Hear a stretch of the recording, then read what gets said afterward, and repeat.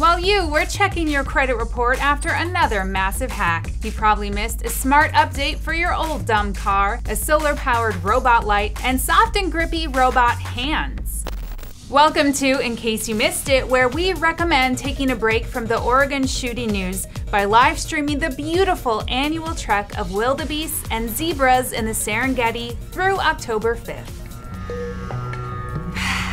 That's better. Researchers from MIT's Computer Science and Artificial Intelligence Lab have created a new kind of robotic gripper that can grasp even the most delicate items. These 3D printed hands are made of soft, pliable silicon. Each finger extends and retracts by pumping air in and out of it. Plus, they're studded with pressure sensors so the robot knows what's in its grasp and how tightly it's gripping. Thanks, but I'll wait for a set of robot devil hands. You have what my old music teacher, Mrs. Mellinger, calls stupid fingers. You too can pretend you're as fancy as your rich friends with a tech update to Old Bessie, your mom's 98 Accord. We'll throw in a two weeks warranty or 25 miles, whatever one comes first. It does have a moonroof.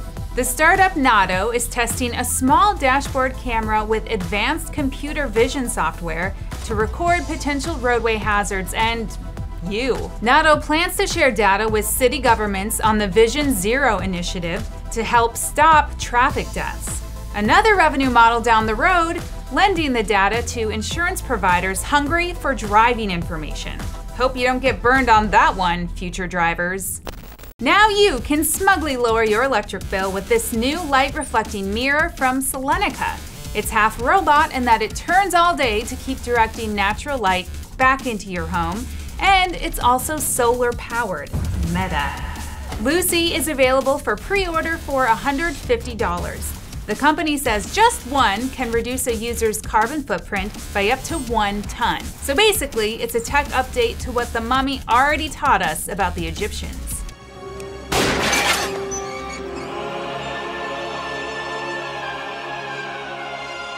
Thanks, Hollywood!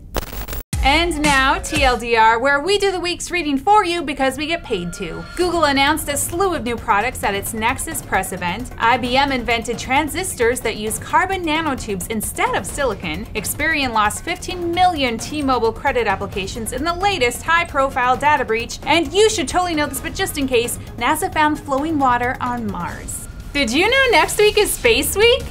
See you Tuesday.